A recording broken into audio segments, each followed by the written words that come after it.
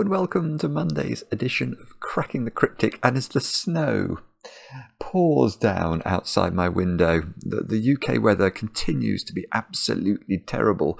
We are going to we're going to turn our, our heads away from the dreadfulness that's happening outside and enjoy a new beautiful puzzle called I think it's Tulpenbluter. I may be saying that wrong, which I think means tulip. Uh, and this is a puzzle by Myxo. Uh, and Myxo is one of those geniuses that inhabits our Discord server.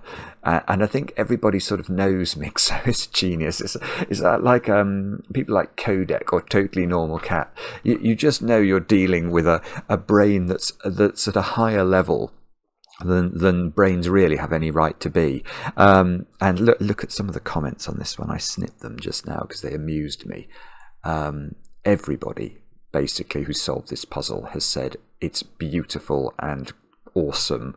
Even people like Phistomefel um, saying that this is very, very cool. I think it was made as part of the Secret Santa uh, event for Witchtal, if I remember rightly um, or is that Wichtel? I'm not sure how you pronounce that. Um, but anyway, it was it was made made as part of that. Lots of you have suggested that we have a crack at it on the channel. So this is going to be our fare for today, looking very pretty, um, and indeed a bit like a tulip. Um, so we'll do this in a moment. I don't have much much fresh news for you today, um, so I will just mention some of the things that are going on around the channel at the moment. We've got uh, we appeared on Numberphile, which was. Uh, a huge honor, a huge honor. So do check that video out if you haven't had a look at it. Um, you get to see me uh, side on view doing a bit of Phistomefel and talking about Math Guy underscore 12's incredible, incredible puzzle from a few months back, the difference of squares. Um, what else is going on? Well, loads of you are receiving your books at last, which is fantastic. Um, the latest tweet that we, re- we received, Shay Ganarelli um, who's also got an O Bobbins cushion cover there, and spiral bound versions of both books. So fantastic, Shay! I'm glad you got your your delivery. Um, and then was there there was something else I was going to mention as well. What was it? Oh yes, over on Patreon we have got my solve of the Cogitos puzzle, which thousands of you have now had a look at. Um, and seem to be enjoying, even though the video is two and a half hours long. This is what the Cogito designed roller coaster Nurikabe. It is a proper roller coaster of madness. Um, but I know some of you really do seem to enjoy the the mammoth solves, so that's over there right now.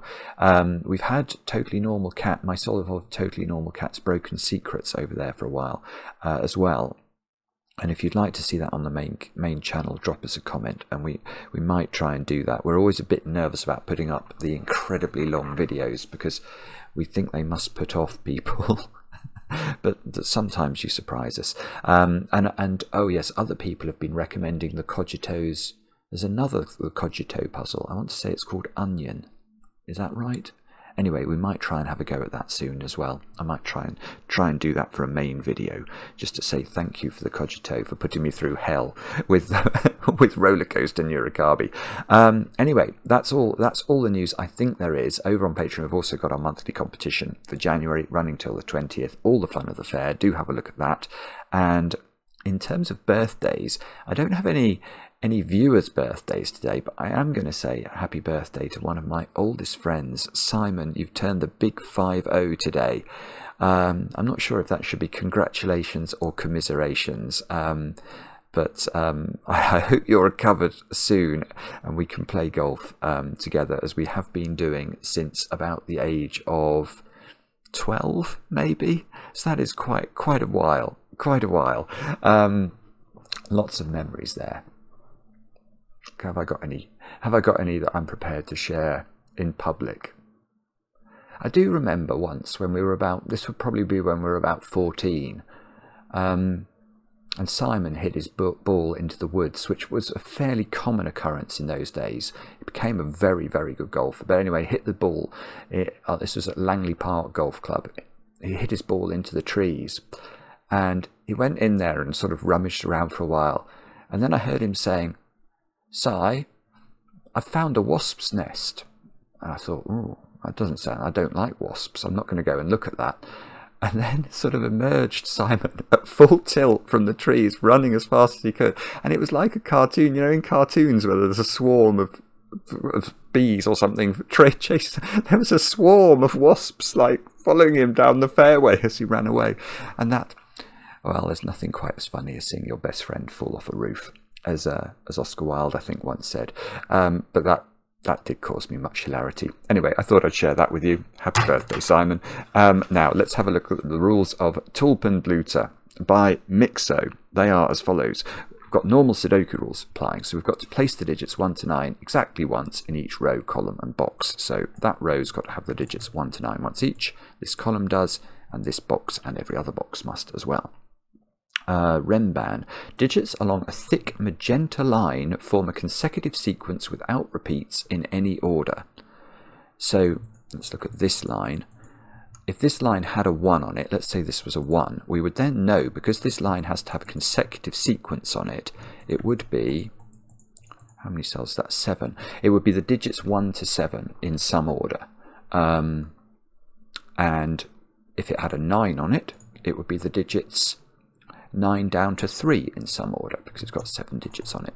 So that's that's sort of how magenta lines work. Often our, we normally have, uh, what colour do our, our, our Renban lines normally? Purple, I think. So we've got a subtly different shade today in order to accommodate, accommodate these two cell lines, which are German whisper lines. So digits along a thin green line must differ by at least 5. So if this square was a 1, this square would have to be at least 6 to make sure that it was at least five different from the number one. And that's how green lines work. Do have a go. The way to play is to click the link under the video as usual. I think this has got three stars out of five for difficulty, so hopefully not monstrous. Um, but now, I get to play. Let's get cracking. Now, now, actually counting the number of cells on that line has given me an idea. Are these all seven cell lines? That Yes, okay, they are. Right.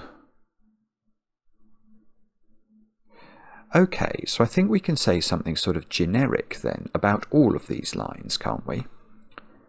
And that, and the, the reason, um, the reason this has come into my head is because of the nature of of German whispers lines. So there is um, there's a secret about German whispers lines that I will share with you. In fact, there are, there are two or three secrets, but there's one in particular I want to focus on today. One of the secrets, which is the trivial one, is that you can never put a 5 on a German whisper line because the, the next digit would be impossible. This would have to be at least 5 different from 5, and if you go up, you would get to 10 or higher. And if you go down, you get to 0 or lower, and they are not Sudoku digits. So no 5s on lines. And that allows us to sort of categorize any digit along a German whisper line as either below 5 or above 5.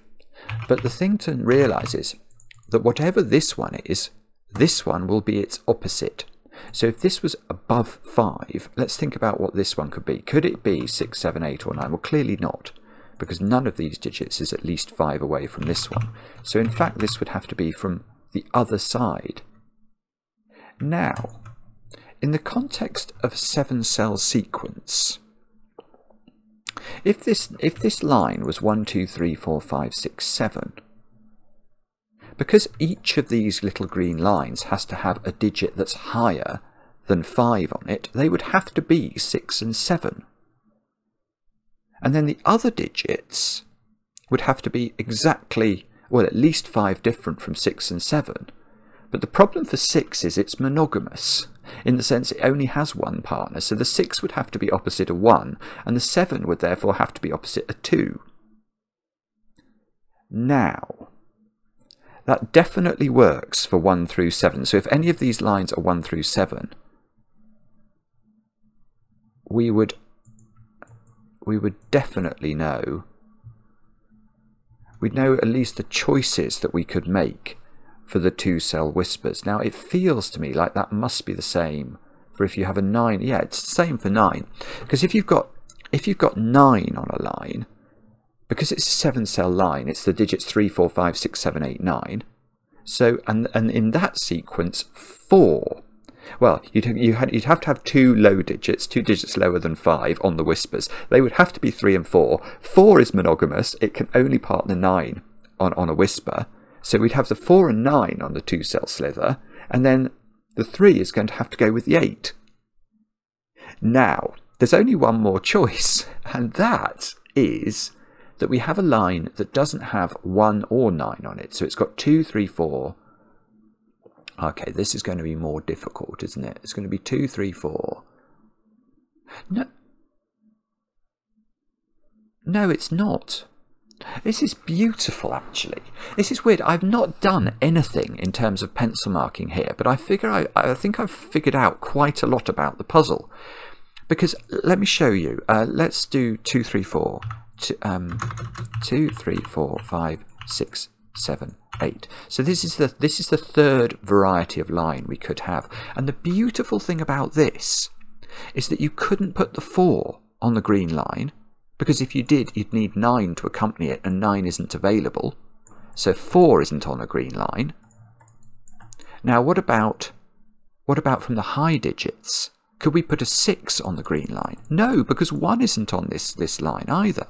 So 6 can't go on the green line. So the high digits on the green line, or the two green lines that each, each of these seven cell lines seems to have, the high digits are going to have to be 8 and 7, and the 7 has to have a digit that's 5 away from it, which can only be 2. So if this, if this was a 2, 3, 4, 5, 6, 7, 8 line, you'd have to have 2 and 7 on it, which wouldn't be in that order because of the given 7, and you'd have to have 3 and 8 on it, and then the other digits would be the balancing digits, which would be 4, 5, and 6 in some order. So so that is absolutely beautiful. So, armed with this knowledge, how do we solve the puzzle? That's the next question. That's taken me a few minutes to think through. So, so the so the digits that are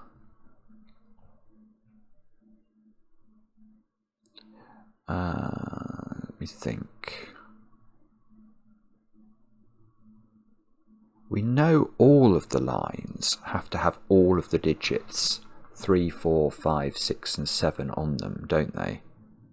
Because any seven cell sequence, if we if we think if we imagine the digits 1 to 9 lined up in front of us and we slice a seven cell consecutive sequence, wherever we cut the slice, we're always going to have 3, 4, 5, 6 and 7 within, within the boundary. So 7 on this line and this line must appear.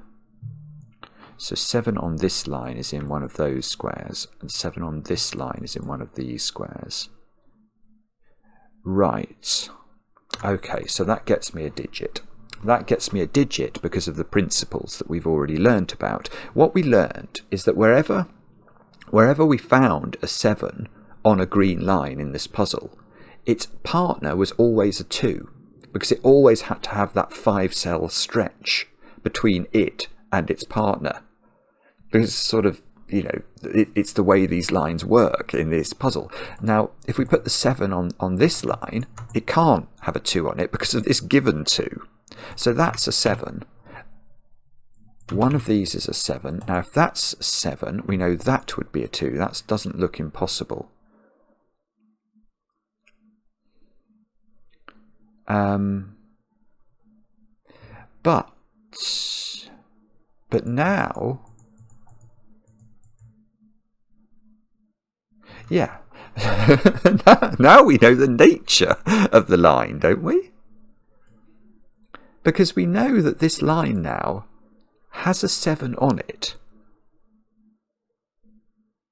And but it has a 7 as a digit that's not whis- that's not whisperable.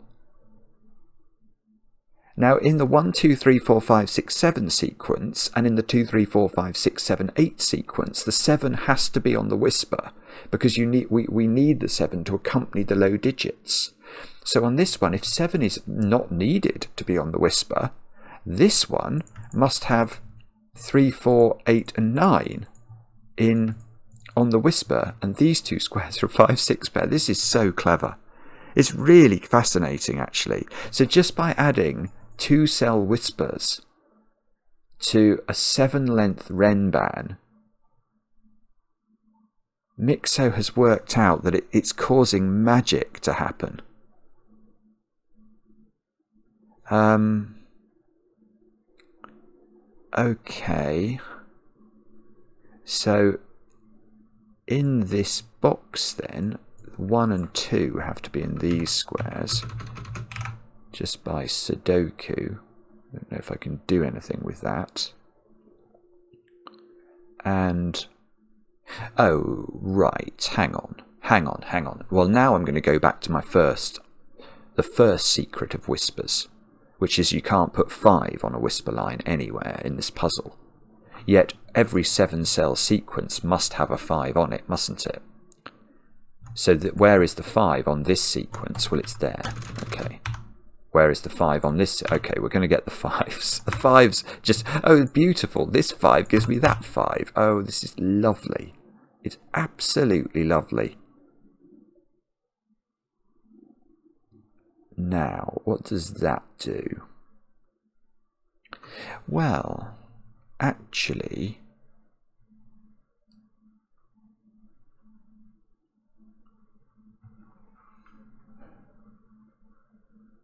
I think I'm slowly internalizing the, the principles of this. What are those two digits now? And I want to say they're a 3 4 pair. Because in any of the yeah, in any of the sequences because because we need the extreme digits within that sequence to always fit the whisper. You know, if we had 1 to 7, if 1 to 7 um, was, was on this whisper line, Uh, in fact, one of those is definitely a 7, isn't it? Is that right? Yeah, because there must be a set. I'm just, sorry, I'm just changing changing my sort of thought process here. Seven we know is on this whisper, and it's not in any of those squares, so it's in one of those squares. So that's not a seven. That would rule seven out of. Oh, in fact, if and if seven is on this whisper, then we know it accompanies two. So this is a two-seven pair.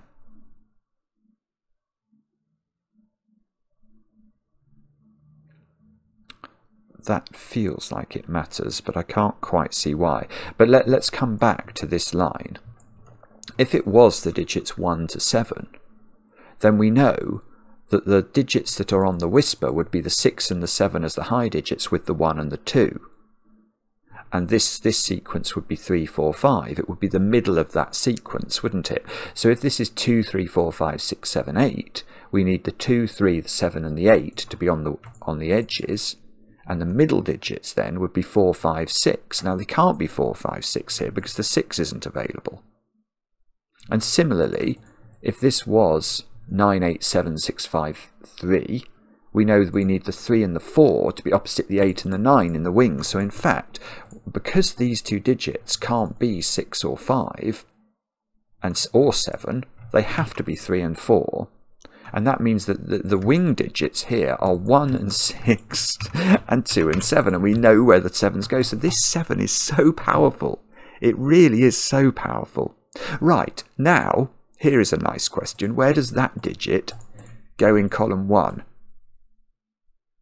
it can't repeat on its own whisper so it's not in those and it's not in its own box. So it goes up there somewhere. So if this was a 1, you couldn't put a 1 in column 1. So that's a 6.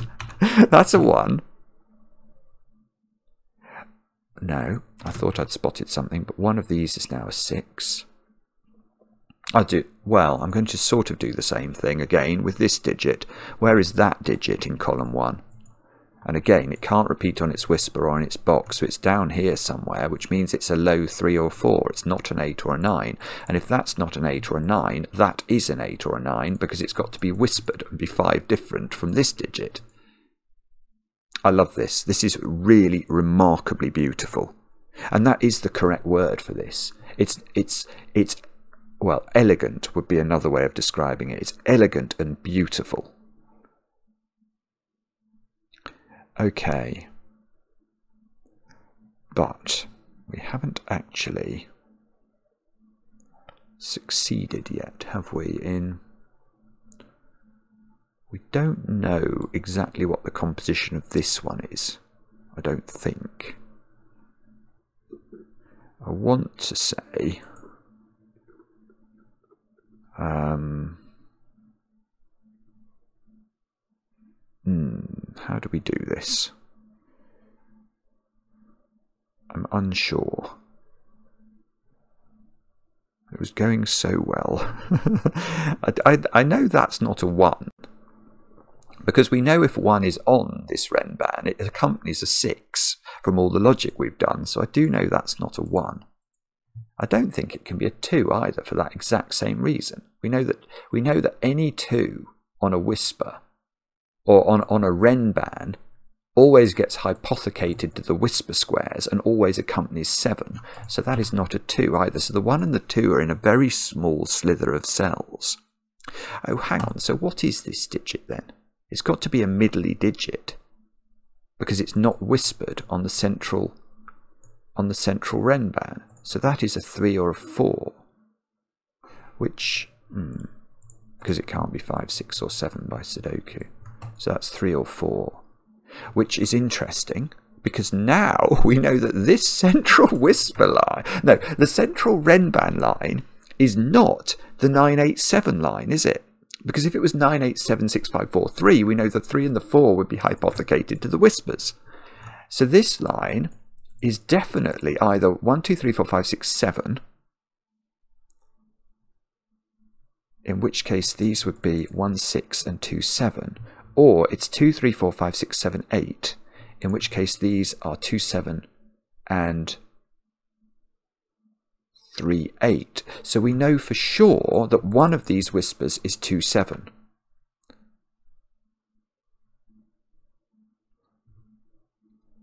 Ew. is that is that helpful? Probably it is, but I can't immediately see why. Um, we might, I know it's a horrible thought here, but we might have to resort to some Sudoku in a moment. Let me think. Maybe, or maybe the way to do it is to run that same logic on this one.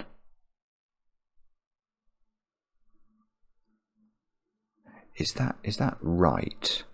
The middly digits on this Renban i.e., the, the digits that are not in the whisper, cannot be a 3 4 pair. Because if this was a 3 4 pair, this square would break.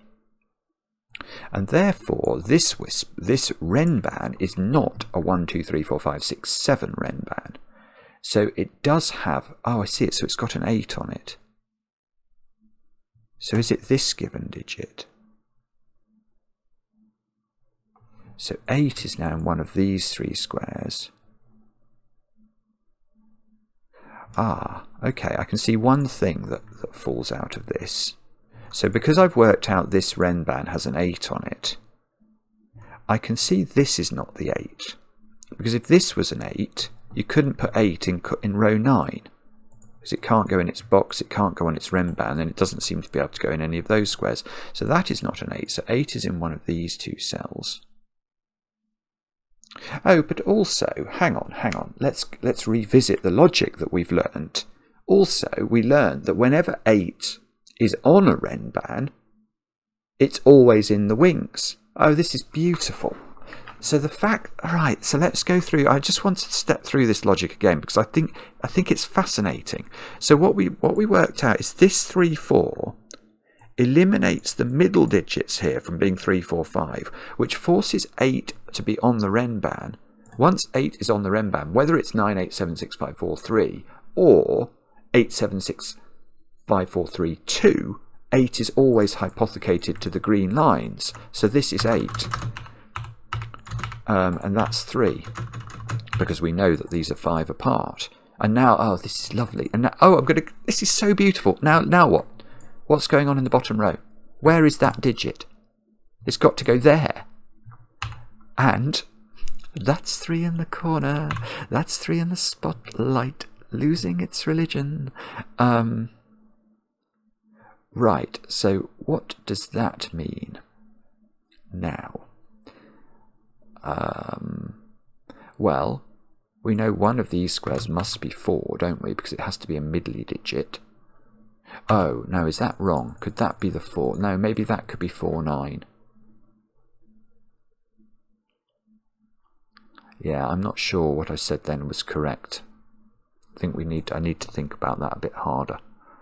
Um, we, yeah, because we know if this is a nine eight seven six five four three Renban, this is four nine, and this is six seven, which would be quite useful here.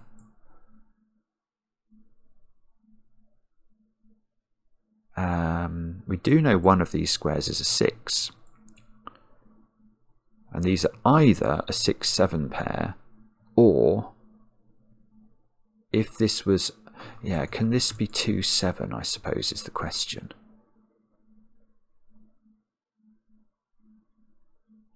Because if this was 2-7, this would have a 4 in it.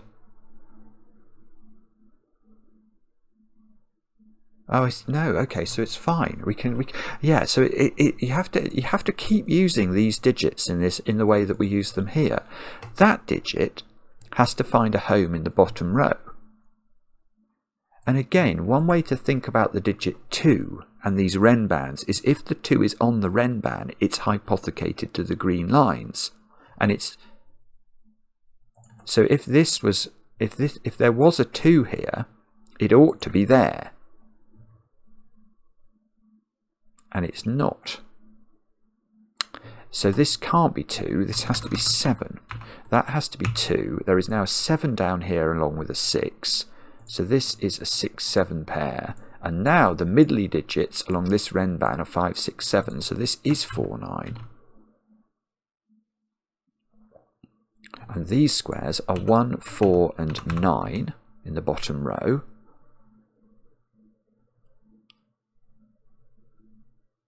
3 is in one of these two cells by Sudoku. And can we go any further than this? 8 is in one of those two squares. That feels like it might do something. 5 is in one of these. Oh, maybe I plot the 5s around the grid because surely we can get a load of 5s pencil mark. Yeah, we can do we can do a lot of 5, five pencil marking. Ah, another point is that there's a 5 on, on the central Renban. That must be in one of two places now.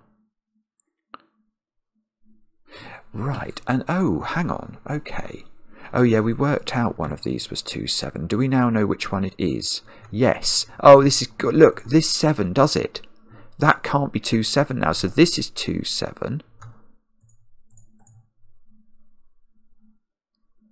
I'm looking at it, expecting it to, to somehow...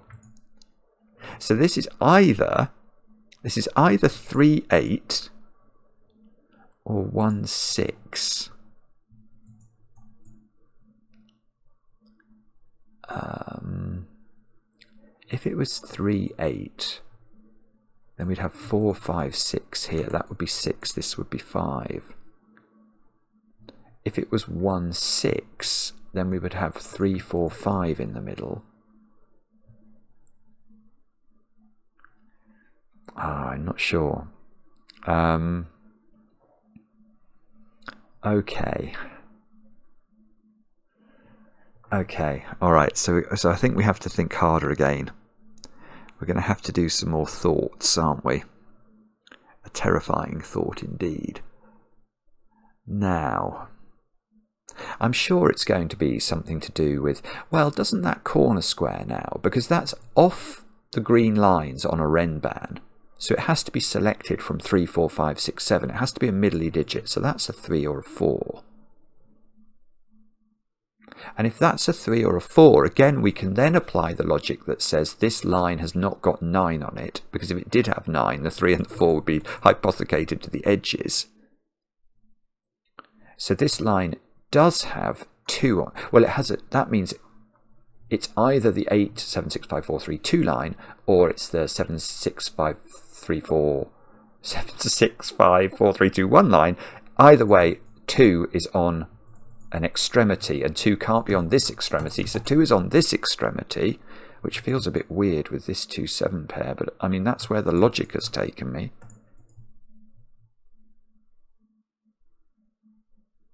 I hope that's not wrong. It feels, well, okay, and now this digit has to find a home in column 9. And that's one of these squares, so that seems to say that's a 7, which means that's a 7, that's a 6, that's a 2, that's a 7, that's a 2. And, well, I mean, this can't be 9. Because if it's 9, it's going to plonk 9 in column 9 here. And we know 9 can't go there. Because then there's a 4 on this on this Renban somewhere. And the 4 would have to be on the green line because it's monogamous with 9. And the 9 would be hidden here and it, everything would go wrong. So that's a 4. That's a 9. One of these squares is now 4. Um, which which means 9 is not on the Renban. Oh, but if that means 9 is not on the Renban, because we know that we know that yeah, because then we would need the 3 and the 4 in the wings. It's really clever, this. It's really clever. So we now know, I think, because there's no 9 on this, but there is a 3 or a 4 in the middle, oh hang on am i getting maybe i'm maybe i'm going around in the circles here actually with my with my brain. I thought in my brain that i'd con- i'd concluded what i thought the nature of this is. I mean this is definitely either 3 8 or 1 6 isn't it? Oh it's not 1 oh no it could be 1 6 yeah i mean it's definitely 3 8 or 1 6 but I don't think there's a completely fest a free festival of choices for this square, for example, because this square has to fit in one of these, and therefore it's either a 6 or a 3 or an 8. So it's not it's definitely not a 1, which means that's definitely not a 6. Uh, is that helpful? Probably. Um, so next question, that can't be 8 by Sudoku, so this can't be 3. So this is now 6 or 8. Oh, yeah, okay, and it's not 6, because if it was 6, where'd you put 6 in this box now? And the answer is nowhere at all, because that 6 takes care of those, that 6 takes care of those, and you can't repeat 6 on the line. That's beautiful. So this is 8, which means that's 3. That's 4 in the corner this time, so we don't get double 3 in the corner. Um, and now we know this line needs a 6 on it to in order to form a consecutive sequence. So let's finish that off. 3 and 4 look at that digit. So that's become 8 or 9. This must be the counterpart to that, which is now a 3 or a 4. Um, and from this, we will deduce several things once my brain figures them out. Now, what are those squares? Oh, 8. I must put 8 in here now. So these squares are a 1, 9 pair by Sudoku. So 1 in this box has to go here. So 1 is in one of these three cells. These squares, oh, we don't know. We've got an 8, 9 pair, actually. Oh, so that digit's got to go there. Does that matter? So these are... Oh, yeah, that's fine. So that's a 2. And this is a 3 or a 4. Whoopsie, 3 or 4, I think. And there's a 3 4 here and a 3 4 here. So this is a 3 or a 4 still don't quite know what it is. And there's a 3 4 here. So we've not what have we not put in this row? 7 I want to say. So that's a 7